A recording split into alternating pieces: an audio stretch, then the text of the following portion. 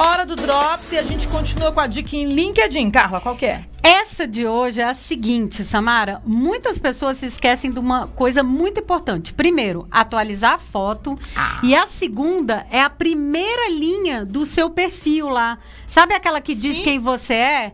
Essa é a parte mais importante, porque é por lá que as pessoas veem você e sabem o que, que você faz ou o que, que você é. Já pensou? Coloca uma frase legal. A Carla colocou aqui, acelerando talentos na educação. Amei. Opa! A gente quer saber o que que você vai colocar no seu. Conta pra gente.